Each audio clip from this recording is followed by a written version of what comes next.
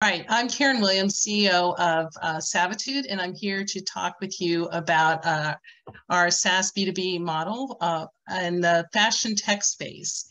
And um, I'm excited to um, share with you not only the opportunity to uh, have a, a consumer-facing experience that also allows for data for brands and retailers so that they can address fit problems reduce the impact on the environment, and create an engagement and uh, sell-through with their customers. And the, the question is why, why are we focused on this? One of the things that we've learned is most people have some problem finding clothing that fits and flatters them. And we've learned through our research that it's not just size based, it's based on um, design details and body shape. And that's a unique opportunity for us to, to focus on that which results in returns. And we've learned that returns um, with size-based solutions haven't gone down, they've actually increased, not just because of COVID, but because of the increase in e-commerce engagement. And so the amount of clothing that goes into landfill is actually increasing um, over what we have on this slide. Um, the most current information is up 10% um, we've learned um, through our proprietary research that, and the experience of our founders, that there's opportunity out there not just to reduce um, the impact on the environment, to reduce waste, but also to target the underserved populations. The design standards are based on um, um, body shape, uh, the hourglass body shape that was um, that's been used as a standard for many, many decades and the design details are appropriate to that. One of the challenges is that um, designers aren't trained to design for all body shapes. And so you have underserved populations. And we want to shine a light on that, demonstrate that opportunity to um, the industry and ensure that there's a way for them to address it. Um, the team is, uh, I'm excited to be part of this team. Um, I have a background in strategic operations and um, production and operations management. My experience as a product design engineer from Stanford, um, coupled with my experience uh, at Harvard, uh, focused on um, design and product development and driving um, results that can be replicated comes to play here. And I'm very fortunate to be working with um, experts um, in machine learning and computer vision as founders and experts with unique capability in predictive modeling and fashion design. So we have a unique team that's done remarkable things. And I, I because I'm um, 10 months in, I get to brag about them a little bit, and I love that part. Um, we also have some folks in the industry that are supporting, uh, um, have been in the industry that are supporting us and guiding our, our um, evolution. And, you know, why are we the, the right people to be working on this? You know, I talked about the unique capability and that has uh, really taken the art and the science in um, this product or this, this challenge and bringing it together. I don't believe that this is, would be possible without the technology that's available today and the um, unique capability that brings the understanding of not only fashion design um, and what looks good from an art and aesthetics uh, perspective, but also how do you model that?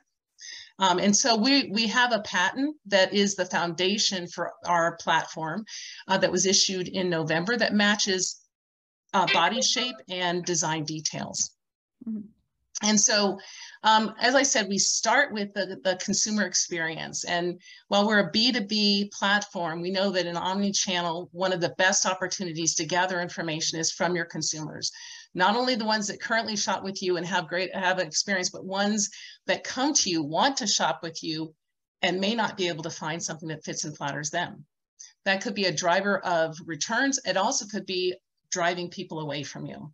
And so our, our ability to gather information allows us to provide information in near real time to merchandisers for assortment optimization, who then can guide their designers in terms of what are the opportunities to improve um, their, um, uh, their uh, performance.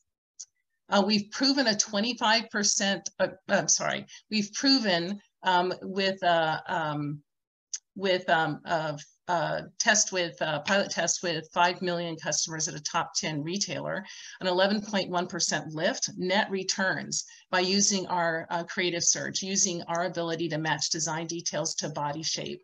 And we've uh, demonstrated that we can increase the coverage by our analytics and recommendations by changing design details and offering recommendations to the designer and the merchandiser so that they can increase sell-through, again, without adding SKUs. This is redistributing the, the production today and also providing detail that can help them tighten up their inventory. And I know the industry is really focusing on reducing that over the next five years. And then the, the third module is helping designers who drive the creativity, but also um, get the benefit of an analysis and recommendations based on their brand's DNA.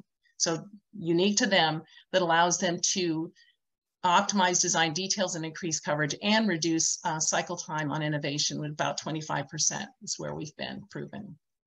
And in terms of our, our competitive set, you see that gray bubble, there's a lot of concentration, very, um, a lot of competition in um, assortment planning based on size and 2D fit. There are a lot of folks that are competing in that area, and that's primarily focused on um, assortment optimization post-production, post um, the collection, um, uh, final collection.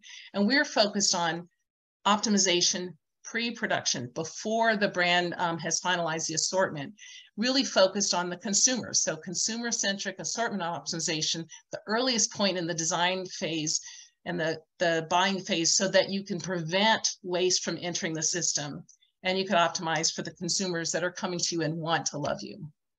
Um, we have three pilots in the planning phase that we're real excited about and have just received approval and a technical review for a cloud provider who's looking to, to um, broaden their ecosystem of partners. Um, we've gotten recognition from Fashion Guild International this spring, as well as recognition listing in the Gartner Market Guide for Retail Assortment Optimization Applications. Um, and most exciting as we've worked with our pilot, uh, our our, our prospects in understanding their needs, we've discovered more opportunities to monetize, and we'll be updating our um, SOM in the next few weeks. Um, we are, our ask is um, we're raising 5 million in seed funds and we're looking for partners on this journey. Um, we are looking for two years of engineering sales and support and um, to be able to um, productize, um, release a 3D pattern or uh, patterns and 3D visualization.